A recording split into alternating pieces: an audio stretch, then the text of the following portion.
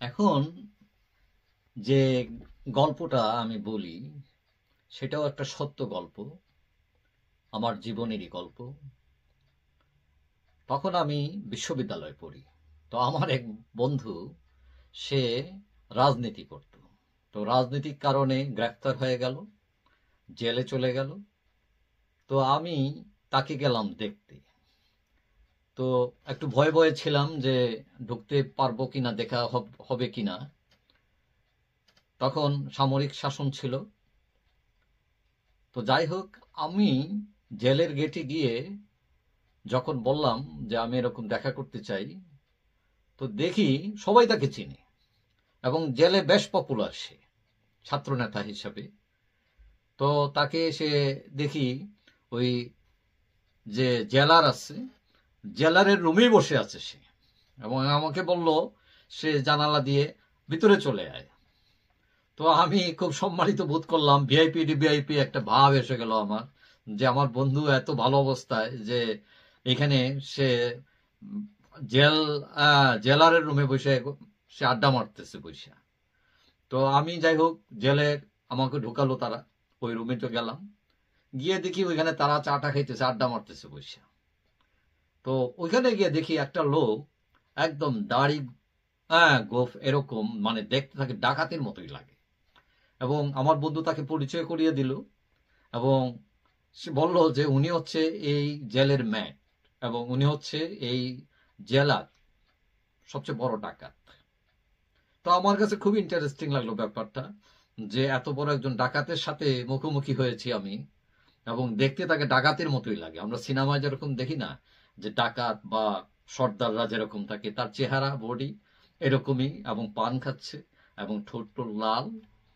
তো যাই হোক, আমি তার সাথে খুব ফ্রেন্ডলি কথাবার্তা বলা শুরু করলাম এবং তাকে বলতে শুরু করলাম, এই যে আপনি ডাকাতি করেন, তো এটা তো করা ঠিক না। তো সে তার জীবনের গল্প শুরু বলতে শুরু করল। হয়তো সে আমাকে আপন ভাবতে শুরু করল ফ্রেন্ডের মতোই এবং বলতে লাগল যে ডাকাতি আমি করি মানে আমার কিছুদিন আমি থাকি জেলে, তারপরে জামিনে ছাড়া পাই, আবার ডাকাতি করি, আবার ঢুকে যাই মানে তার জীবনটা হচ্ছে এইরকম। তো আমি বললাম, এগুলো বাদ দেন, তো আপনি ডাকাতি ছেড়ে দেন। স্বাভাবিক জীবনে আসেন। তখন সে বলল কিছু কয়েক কয়েক বছর আগে সে সিদ্ধান্ত নিয়েছিল যে ডাকাতি আর করবে না। কিন্তু তার এই সিদ্ধান্ত সফল হয় নাই। তো সে বলল যে, ডাকাতিতে করে জেল থেকে যখন সে বারে- বের হয় জামিনে, তখন সে বাড়িতে গেল এবং তার দুই স্ত্রী এবং বাচ্চা কাচ্চা আছে এবং স্ত্রীদের বলল যে, না, আমি আর ডাকাতি করব না। এবং তারা খুব খুশি হলো শুনে। তারা সবসময় প্রেশার দেয় যে, তুমি এই পেশা ছেড়ে দাও। তখন তার বড় বউ বলল যে, এক কাজ করো আমরা টুকরি বানাবো। টুকরি চিনে যে বাঁশ বেত দিয়ে বানায়। হ্যাঁ তো এগুলো টুকরি বানাবো আর তুমি বাজারে বেশি সেল করবা। এবং এটা দিয়ে যা ইনকাম হয়, সেটা দিয়ে আমরা চলবো। আর তার কিছু দানি ক্ষেত ছিল। তো সে বলল ঠিক আছে। তখন তার বউরা ওই যে টুকরি বানাই দিয়েছে অনেকগুলো। এবং সে এটা নিয়ে একটা ফেরিঘাট ছিল। ওই ফেরিঘাটে অনেকগুলো দোকানপাট ছিল, মানুষজন এখানে আসতো। ওইখানে গিয়ে সে তার টুকরি নিয়ে বিছাইয়া বসছে। সে বলল যে, দশ মিনিট হয় না আমি বসছি। এর মধ্যে হঠাৎ করে এখানে পাশের এক দোকানদার, রেস্টুরেন্টের মালিক সে আসলো। আইসা বলল, এই, তুই এখানে দোকানে ইয়ে বসাইছিস কেন? এই, এখানে দোকান বসাইছিস কেন? আমার দোকানের সামনে হ্যাঁ টুকরি উঠা। তখন সে বলল, আমি ভদ্রভাবেই বললাম, ভাই, আপনার দোকানের সামনে তো বসাইনি আমি। আমি তো পাশে বসাইছি, আপনার তো কোনো অসুবিধা হচ্ছে না। তখন সে একটা লাথি দিয়ে টুকরি ফেলে দিল এবং ওই টুকরি গড়ায় গড়ায় একবার নদীর মধ্যে গিয়ে পড়ে গেল। তখন সে বলতেছে, দেখো, আমার নাম শুনলে সবাই ভয় পায়, কিন্তু বাই ফেস তো আমাকে সবাই চিনে না। আর সেই সময় এটা ওই আপনার ডিজিটাল যুগও ছিল না, ইউটিউবের যুগ ছিল না, মোবাইলের যুগ ছিল না। তো বলল যে, আমার নাম শুনলে তো সে একদম কেঁদে দিবে, কিন্তু ফেসে তো চিনতেছে না আমি কে। যাই হোক, আমি কিছু বললাম না।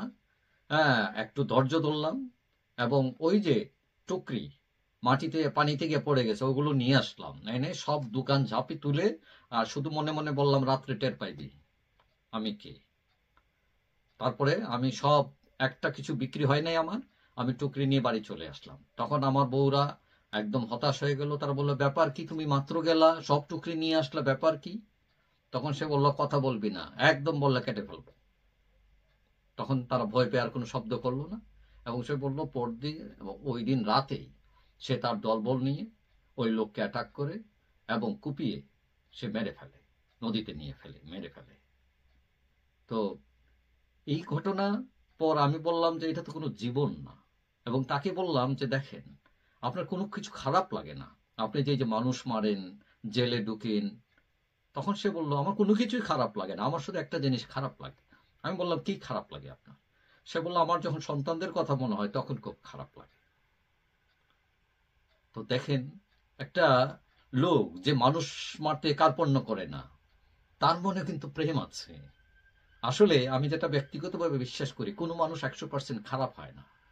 প্রত্যেক মানুষের মধ্যে কিছু না কিছু ভালো গুণ থাকে।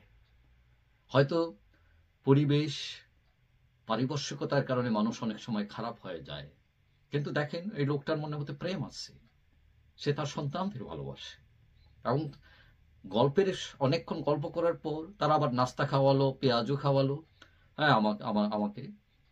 তখন তারা ওই যে ডাকাত, তিনি আমাকে বললেন যে তিনি এখন একটু নরম হয়েছেন এবং তিনি আবার সিদ্ধান্ত নিয়েছেন, তিনি যখন পরবর্তীতে বের হবেন, ডাকাতি ছেড়ে দেবেন। এবং তিনি বললেন যে দুই, তিন দিন আগে তিনি একটা স্বপ্ন দেখছেন। স্বপ্ন হলো তার বড় স্ত্রী তার পাশে শুয়ে কাঁদতেছে আর কোরআন পড়তেছে। তো তিনি বললেন যে, কি ব্যাপার? হ্যাঁ তুমি কাঁদতেছো কেন? তখন মহিলা বলতেছে যে হ্যাঁ তুমি দয়া করে এই যে বিয়েটা ছেড়ে দাও। ডাকাতিটা ছেড়ে দাও। মানুষ খারাপ বলে মানুষ আমাদেরকে ঘৃণা করে। আমরা মুখ দেখাতে পারি না। সন্তানরা তোমার পরিচয় দিতে পারে না। তো তুমি এগুলো বাদ দাও। তখন সে বলল যে, এই স্বপ্ন দেখার পর তার মন টান খারাপ হয়ে গেছে। কয়দিন যাবৎ সে ভাবতেছে যে সে তার জীবন আবার পাল্টে ফেলবে এবং সে ভালো পথে আসবে। আমি জানি না সে পরে ভালো পথে এসছিল কিনা তবে আমার কাছে লোকটিকে ঘৃণা লাগে নাই। হ্যাঁ আমার মনে হয়েছিল যে এই লোকটির মধ্যেও মানবিকতা আছে, প্রেম আছে। সে হয়তো একটা সুযোগ পেলে, হয়তো আবার সত্য পথে, সুন্দর পথে হ্যাঁ এগিয়ে আসবে। আমি জানি না উনি এখন বেঁচে আছেন কিনা বা উনি ডাকাতি ছেড়ে দিয়েছেন কিনা। যদি থাকেনও এখন হয়তো অনেক বড় হয়ে গেছেন এখন।